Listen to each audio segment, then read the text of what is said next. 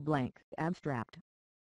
The model method is a diagrammatic technique for visually and schematically representing mathematical word problems, mathematical operations, and number constructs and for solving word problems once modeled.